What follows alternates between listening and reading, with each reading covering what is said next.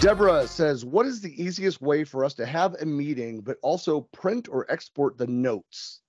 Many options to document, but not export. And this is a Teams question, by the way. Yep. Many options to document, but not export print. We need to do both. Looking for easy options as the committees have volunteer people, and it needs to be fast and easy and quick. I think there's a couple options that they can entertain. Uh, I think one of the more traditional approaches is to use the the meeting notes feature, which is essentially OneNote inside of the meeting. Transcribe your notes manually, as you would as like a recording secretary type position in a type of board meeting environment. And those can be saved and printed through the browser if you're using the online tools.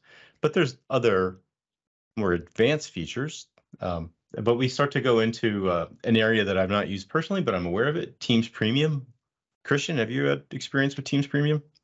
Yeah, you have. Yeah, the the well, you've got the the the recap capability, um, which can produce kind of all the notes from that. That's something I've not played with yet. Um, but that's the again kind of the that, that premium experience where Mhm. it pulls together all the notes, it pulls together the transcript and delivers all of those pieces to you, and then can even start to to deliver, especially with some of the new Copilot capabilities, um, uh, you know, a lot more value. Um, uh, you know, post meeting. Here's what happened. Here's specifically Norm, what you're assigned. How? Here's what you're assigned out of that. Um, you know, so that that capability out of Teams Premium. Yeah, so if you're looking for the automated experience, Teams Premium. Um, otherwise, I mean, you've got some in between there, not around automation around the notes. I, I, I think Norm. I mean, that's that's what I've always done. Yep. You have shared notes. We capture the notes. Yep. We co-edit together, and then you can print that out, save that down, export that, send it to people um, Yeah. out of OneNote. And I'm sure we've all been on calls and the transcription service is running, which is great.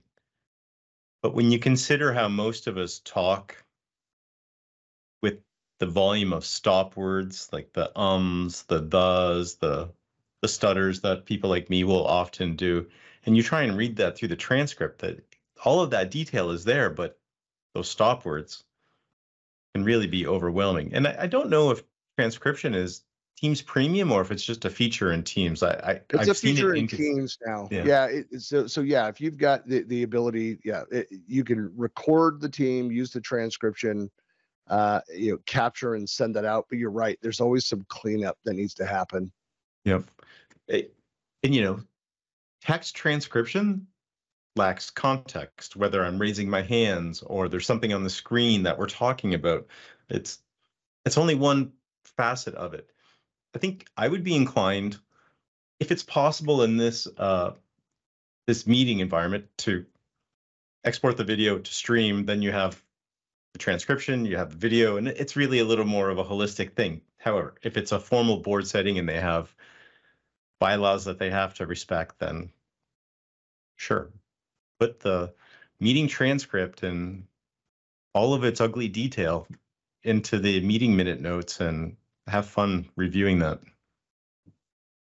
You know, I will say that there are specifically you're talking about. I think this scenario that Deborah's asking is is you know for board. Like when you get to that level, there are third party products that build into Microsoft 365 that do specifically around board notes. Hmm. In fact, I think there's a product out there called Board Notes Yeah. um, that you can search for.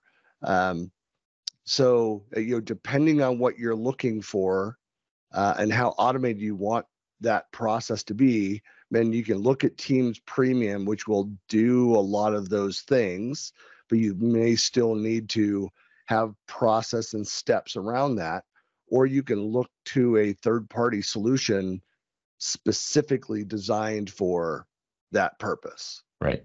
I don't know what those things cost, the integration issues you go through, um, support of that the product, kind of all those things. But again, if that's if you're looking for something that's that's automated, there are solutions out there.